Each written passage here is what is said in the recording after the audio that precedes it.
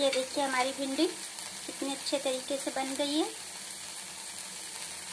इसमें हमने ऑयल, जीरा, सूखी मिर्च से मैंने छौकी थी इसे, और अब ये देखिए अच्छी तरीके से बन के तैयार हो गई है। ये देखिए हम सूखे आलू के लिए मैंने जो इंग्रेडिएंट्स लिए हैं वो आप देख सकते हैं। मैंने लिया गरम मसाला, लाल मिर्च पाउडर, नमक, धनिया और सूखा जीरा, और ये मैंने ऑयल लिया है।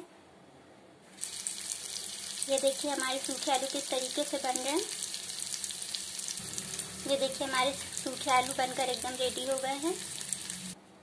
ये देखिए हम नवरात्रि भोग के लिए सूखे बैगन बनाने जा रहे हैं और इसके लिए मैंने लिया है ऑयल और ये मैंने लिया है रेड चिली पाउडर गरम मसाला धनिया पाउडर नमक और सू, सूखा जीरा।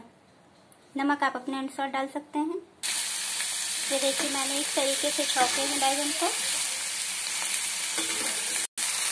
अब ये देखिए, हमारे बैगन इस तरीके से बनकर बिल्कुल रेडी हो गए। हलवा बनाने के लिए मैंने ये ड्राई फ्रूट्स लिए हैं, देसी घी लिया है और ये मैंने रवा लिया है। जो नवरात्रि में हलवा बनाया जाता है वो मैं बना रही हूँ। ये देखिए, हमारा हलवा भी बनकर एकदम रेडी हो गया है। ये मैं सूखे चने बना रही हूँ नवरात्रि के लिए, जिसमें मैंने जीरा, सूखी मिर्चा, नमक और लाल मिर्च पाउडर, जो मैं अभी डालूँगी।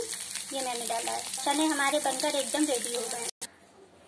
ये देखिए स्टार्टर में हम साबुदाने और आलू की पकौड़ी बना रहे हैं, जो हमने सारे मसाले बन, मिला के बना ली है। ये देखिए, हमारी साबुदानी पकौड़ी का रंग कितना ही अच्छा आया है।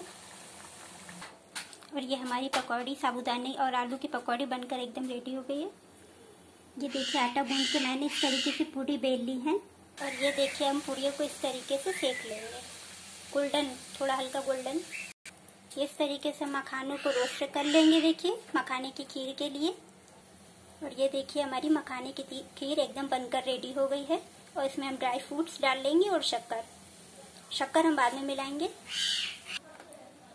इस तरीके से हम सर्व कर लेंगे। इस तरीके से देखिए हम सर्व कर लेंगे। और ये देखिए हमारी साबूदाने की खीर भी बनकर एकदम रेडी हो गई और ये हमारी मखाने की खीर और ये हमारा नवरात्रि भोजन तैयार हो गया है बनकर, जो आप सब लोग देख सकते हैं।